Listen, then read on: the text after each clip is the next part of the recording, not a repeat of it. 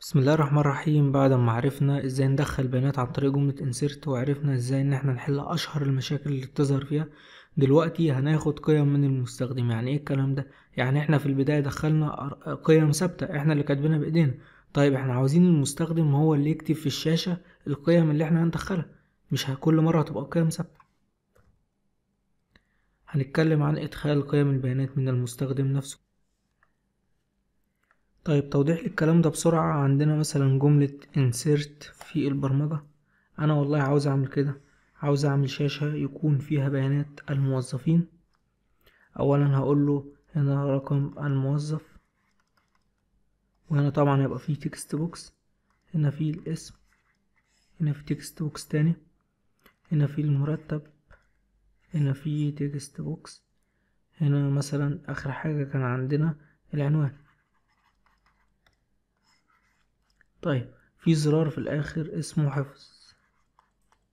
أنا عاوز لما المستخدم يدخل لي القيمة بتاعته تمام؟ يدخل لي مثلا هنا رقم موظف واحد هنا الاسم محمد هنا المرتب مش عارف كذا هنا العنوان كذا تمام؟ أول ما يدوس على حفظ أنفذ له جملة الإنسيرت ولكن بالقيم اللي هو دخلها مش بالقيم الثابتة اللي أنا كنت كاتبها بين الأقواس. ده اللي إحنا هنشوفه دلوقتي مع بعض. نرجع تاني للمشروع بتاعنا. اولا زي ما إحنا وضحنا في الرسم النظري هنعمل مثلا عاوزين ندخل بيانات الموظف هنفتح قائمة ال toolbox هنجيب هنا text box زي ما إحنا قلنا. وعندنا هنا label. هنا أنا عاوز أقول له ده رقم الموظف.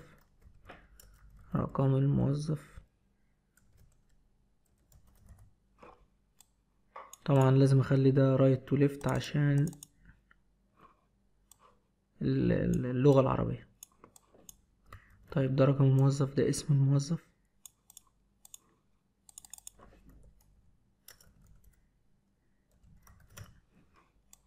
عندنا هنا المرتب.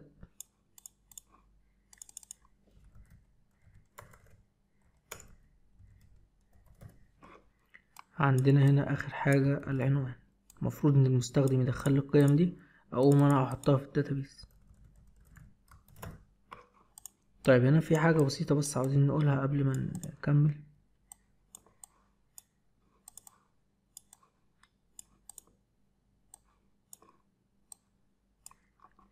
عندنا المرتب زي ما إحنا قلنا.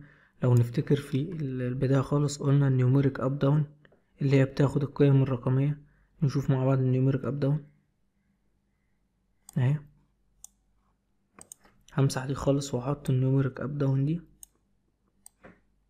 وزي ما إحنا خدنا قبل كده في الخصائص بتاعتها ان أنا هلعب فيها شوية هقوله ال maximum أقصى قيمة تخش فيها كذا وهنا ال increment إن هي تقبل اتنين رقمين عشرين. لا دي زيادة خليها بتزيد واحد. هنا عدد الأرقام العشرية هنخليه اتنين عشان ممكن يكون في كسور في المرتب بتاعي زي ما إحنا قلنا. طبعا هنا ال text align هنخليه في النص عشان نشوفه. ندي طبعا أسماء للحاجات دي أسماء برمجية عشان نستخدمها. اولا عندنا txt ID. تاني حاجة txt طبعا إحنا فهمنا يعني إيه ال name ده. txt name.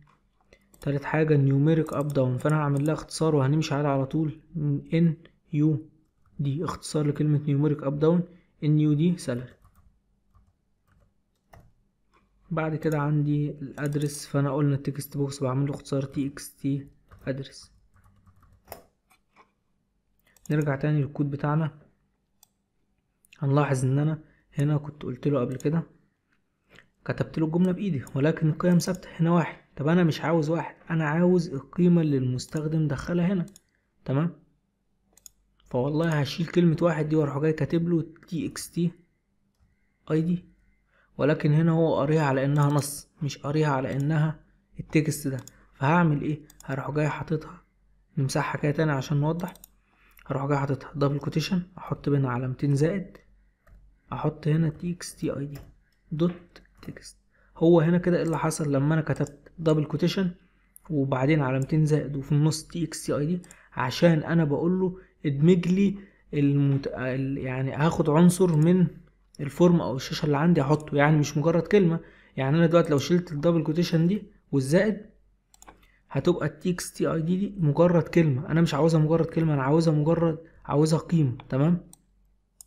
نيجي لتاني حاجة عندنا هنا ال name طبعا زي ما إحنا وضحنا قبل كده دي الرقم انت هنشوف بقى دلوقتي ال name عندي عبارة عن آه نص. فأنا عندي النص قلنا قبل كده إن أنا بحطه بين single quotation فهعمل نفس الحركة دي. هحط double quotation جوه ال single quotation بعد كده أحط علامتين زائد. هاجي بين علامتين الزائد دول واحط ال txt ال name اللي هو المتغير التاني اللي عندي أو القيمة التانية اللي المستخدم دخلها لي اللي هو اسم الموظف.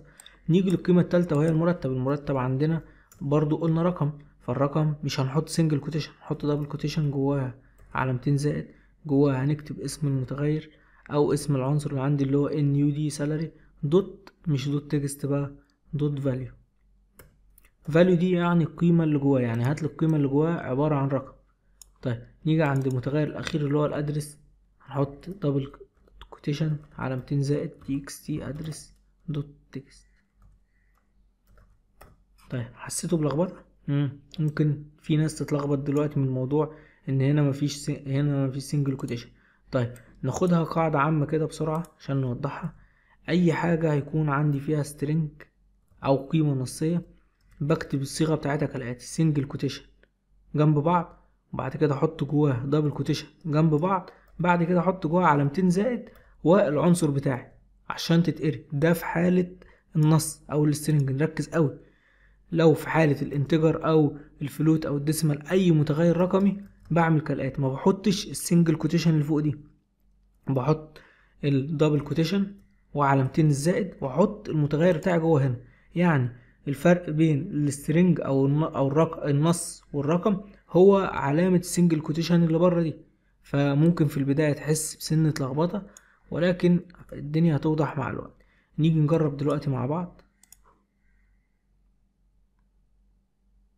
كده إحنا بدل ما بندخل قيم ثابتة هنخلي المستخدم هو اللي يدخل قيم أو العميل بتاعي. دلوقتي العميل خد البرنامج مني وبيدخل بيانات الموظفين اللي عنده.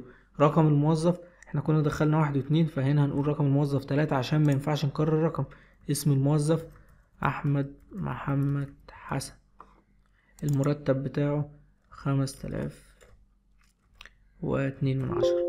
عشان نجرب موضوع الكسور العنوان بتاعه القاهرة ستة أكتوبر.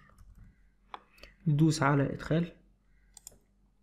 ظهر لي الرسالة دي كده معناها إن ال- القيمة أو البيانات بتاعتي دخل طبعا المفروض هنا إن أنا أقول له تم حفظ البيانات بنجاح عشان طبعا المستخدم يفهم إيه اللي حصل بالظبط. وهنا أحط له آه زي ما إحنا عرفنا قبل كده العنوان بتاع الرسالة هقول له تأكيد واحط له زرار وأيقونة والكلام ده. طيب نفتح ال database عشان نتأكد؟ نفتح ال database عشان نتأكد نقفلها ونفتحها تاني دلوقتي. هلاقي رقم تلاتة عندي فعلا أحمد محمد حسن والرقم وال salary بتاعه والمرتب وي فأنا كده ضفت بيانات عن طريق الشاشة من المستخدم نفسه تمام؟ طبعا المفروض في حاجة اسمها ال validation يعني بمعنى إيه؟ دلوقتي المستخدم لو داس على الزرار ده وما كتبش أي قيمة فالمفروض إن أنا زي ما إحنا درسنا تراي وكاتش قبل كده. أحط تراي وكاتش وأتوقع الأخطاء اللي المستخدم ممكن يعملها وأحلها. ولكن طبعا إحنا مش هنعمل كده دلوقتي. دي الحاجات دي هنعملها طبعا مع الوقت وإحنا شغالين ولكن دلوقتي هدفنا إن إحنا نفهم الفكرة الرئيسية بتاعة إدخال البيانات.